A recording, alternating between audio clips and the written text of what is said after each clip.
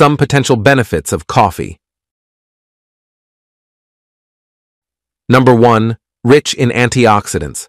Coffee is a potent source of antioxidants, which help combat free radicals in the body. These antioxidants contribute to overall health and may reduce the risk of chronic diseases. Number 2. Improved mental alertness. Caffeine, a natural stimulant found in coffee, can enhance cognitive function and improve alertness. It may help with concentration, focus, and mood.